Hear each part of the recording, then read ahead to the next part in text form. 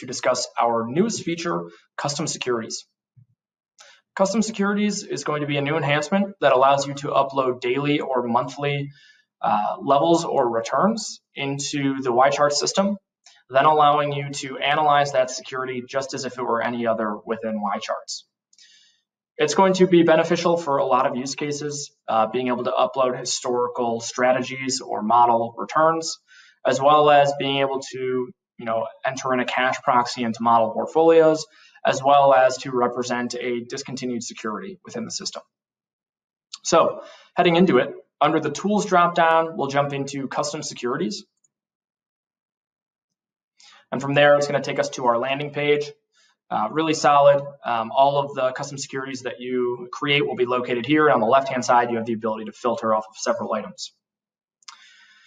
When I click Create New in the top right-hand corner, it's going to allow me to enter in a name, a description, and choose a benchmark. What I mo must focus on here is being able to upload data. So in uploading my data, I have to select a frequency, you know, whether that's returns, uh, daily returns levels, or monthly returns or levels. I have to specify which one I'm going to choose.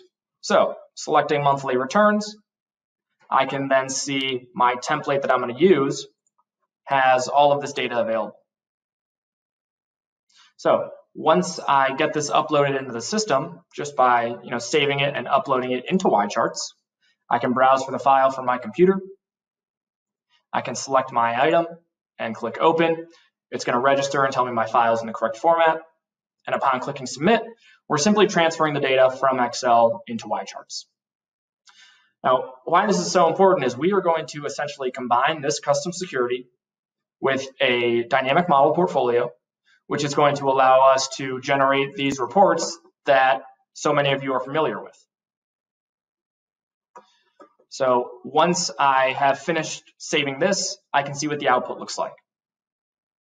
So jumping into the output, you're going to notice that it resembles uh, very closely an index.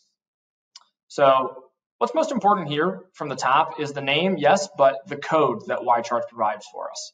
For this equity portfolio monthly returns, I get Y75, and we'll use that later. But scrolling down, you can see not only returns data, but also risk information. So now what I want to do is I want to take this custom security and I want to apply it to a dynamic model portfolio. Under the tools dropdown, I can head into model portfolios. And for the sake of time, I'm going to skip a few steps, but I can click the create button and select blank dynamic model portfolio.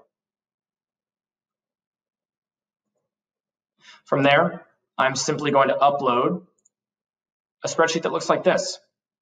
So I've chosen my selected dates, but I'm applying that custom security code, Y75, I'm giving it 100% of my weighting. And so we're applying these returns for this time period from 1231.99 through this date. And then I applied these securities in order to get asset allocation. So I entered in my current allocation for this portfolio. And what that's going to do is deliver an output that looks like this. So it's my model portfolio with my custom security. It's got all of my returns and risk data that we saw previously. But now you're also getting what the current yields, dividend yields, and the current allocations are based off of the most recent allocations and the most recent holdings within the dynamic model. That way you have the ability to, again, generate these reports that you're so familiar with. I touched on this earlier, but aside from the primary use case of returns on strategies uh, or models, you also have the ability to enter in um, cash uh, levels. So you can see a 0% return here. All the levels for each month or day would just be the exact same. Another one might be a discontinued security or an international security, something that we don't carry on the database. If you have access to those you know, returns or levels, you have the ability to upload that information and have it represented within YCharts. If you have any questions, as always, please feel free to reach out to your dedicated support representative as we are happy to help. And feel free to sign up for a free trial at YCharts, and any one of our sales representatives would be happy to assist in any way that we can. Thanks all for listening. Take care.